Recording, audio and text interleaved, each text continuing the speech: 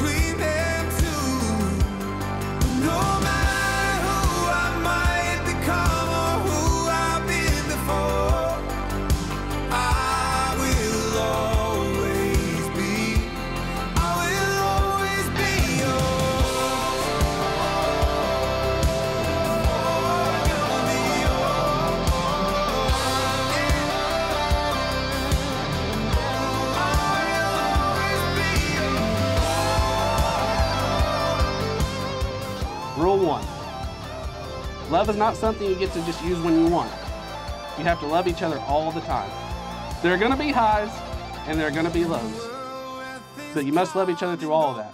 There can't be an on off switch with love or it's guaranteed to fail. Rule number two it's not to be used as a weapon against each other. There should be no threats using love. Disagreements are going to happen along the way, but love is used to solve them, not fuel them. Rule three most important, love is not just between the two of you. God has to be front and center in love that you share with each other. Through rough patches, you must turn to Him for help, and in the best, moments, you need to thank Him for what He has done. As long as you keep Him close, He will always be there for you, and the love you have will just grow greater. All right, by the power invested in me by www.getordained.org, I now pronounce you husband and wife.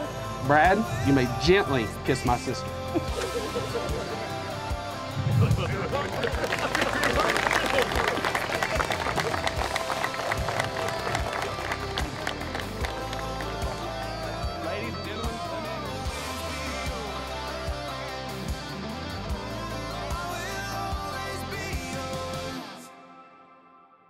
Thank